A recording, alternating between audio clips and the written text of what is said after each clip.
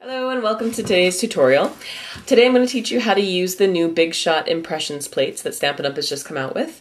And I am going to also show you how to do kind of a fun technique with your chipboard, and this is the So Tweet chipboard. Uh, that is also in the new catalog, and some of the techniques you can use with the Big Shot for that. I'll show well. you what I want to do with the background first. Um, if you can notice inside this card, there's actually a bit of a texture. I'm using the um, dots, the uh, small dots that are inside of the Stampin' Up! Um, Stampin' Up! texture plates. And I'm going to start with my multi-purpose platform, which comes with every Big Shot. And I'm going to open that up to tab 1. So that's the first page. And then I'm going to take my impressions plate and I'm going to put it straight down on that. Now, depending on how thick you want that embossed texture to be when you're done, if you want it to be really raised up, you would probably want to put a little shim of a piece of cardstock underneath before you did this. I'm kind of looking for a gentle background on this one, so I'm going to just put my plate there. And now I'm going to take my piece of Kiwi Kiss cardstock and I'm going to line it up with the dots just to make sure that it comes through pretty straight because I don't want people to get dizzy looking at my dots if they're all off I'm going to take my silicone and put that on top, silicone rubber, and then my Textures Impressions pad goes on the very top. I'm going to take that whole sandwich, and you don't need the plastic clear plates for this one, you just need what I showed you. And I'm going to run it through the Big Shot. And out on the other side comes my embossed paper. Just like that. Okay, so I'm going to put that to the side for this for right now. And before I go any farther, I'm going to take my ribbon and sticky tape. And I'll just say right now, um, when I'm adhering ribbon, I generally always use sticky tape because I find that it gives me the most um, consistent line. And if I use glue, then it tends to be a little bit bubbly on my ribbon, and I don't like that. Open that up. And this is the new ribbon, one of the new ribbon originals, and I'm in love with it. I so love polka dot ribbon to begin with, so I was pretty thrilled when this that came gives out. me my background. And now I'm just going to go ahead and adhere that to my card because I'm pretty much done with the background images. Just like this. And I always take a couple of extra seconds and make sure that it's exactly matted as cleanly as I can. I think that really makes a difference in your finished cards if you just take a second to make sure that that matting is exactly right. And you also notice that I'm actually a big fan of a 3 8 inch mat. I don't generally use the quarter inch unless I'm using it along with a 3 8 inch. So if you're wondering why my cards look like they have a little bit of a skinnier line, that's because I do use a 3 8 inch. It's a little bit harder because the lines are smaller, but I like it. This is the Scallop Circles, um, scallop number two die. There you go.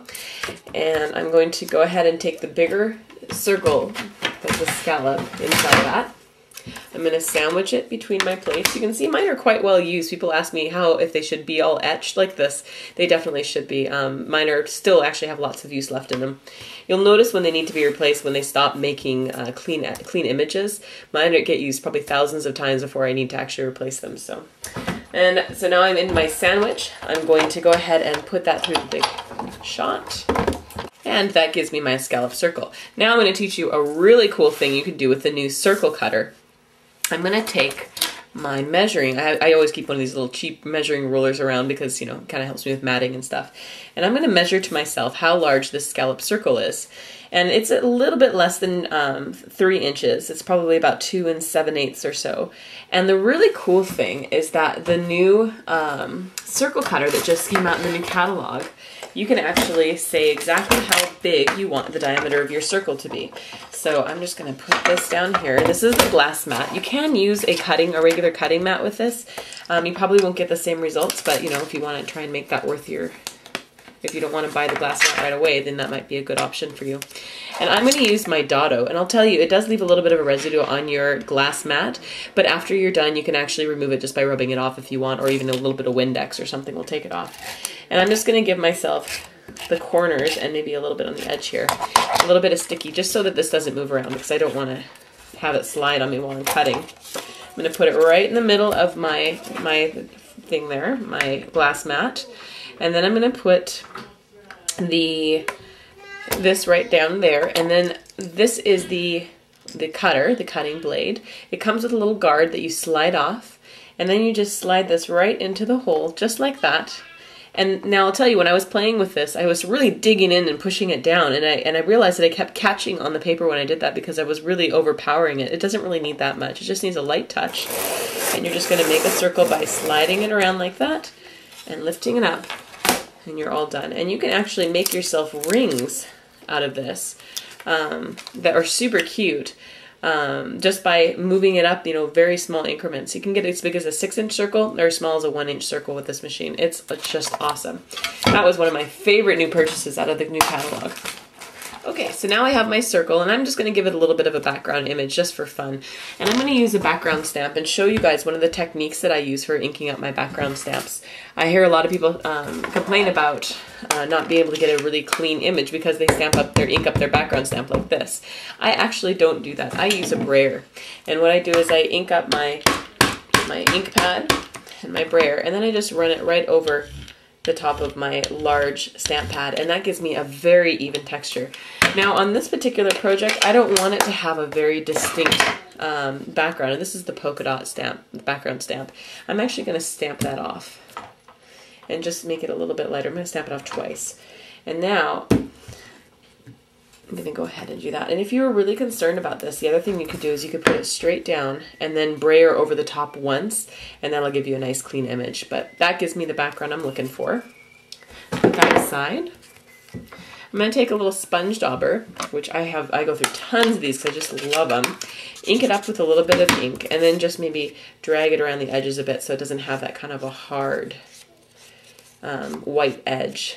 Just want to cover that up a bit. And then I'm going to put away my, that for now, card. Just like that. Um, there are actually eight pieces to each of these designs in here, so you've got lots to make lots of different cards with. So if you make a really cute card and you want to make several, you're set. Or, or if you're just afraid of using up the only piece you have of that, you don't have to worry about that. I'm going to pull out the pieces to the, the uh, pear. And there's four sheets of this. You can see it comes with lots of different images.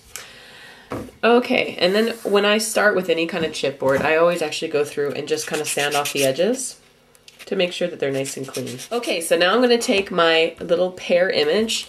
I'm going to take my multi-purpose pad, but this time because this is chipboard, I'm going to open up all the tabs. So I'm just down to that big thick plastic on the bottom. But then the steps remain the same, and that is that I'm going to take my damask uh, pattern. I'm going to put that down. I'm going to take my chipboard upside down so it's facing down and put it on one of those images that are so cute in there. And I'm going to put my silicon on top and then I'm going to take my impressions pad and put it over that. And that gives me my sandwich again.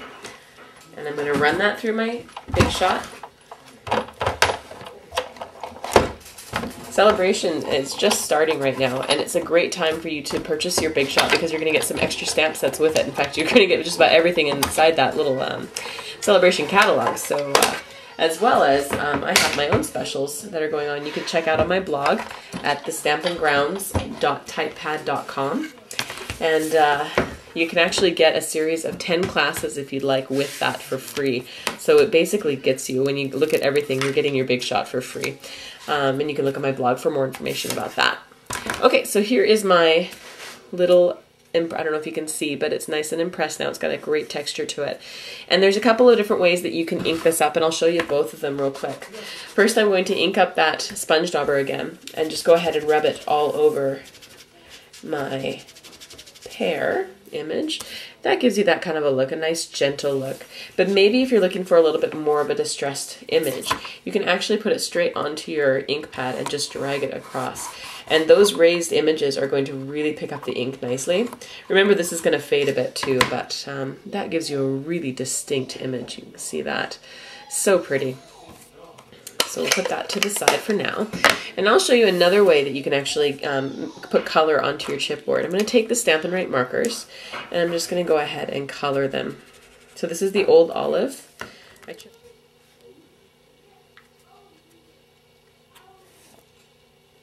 And there we go.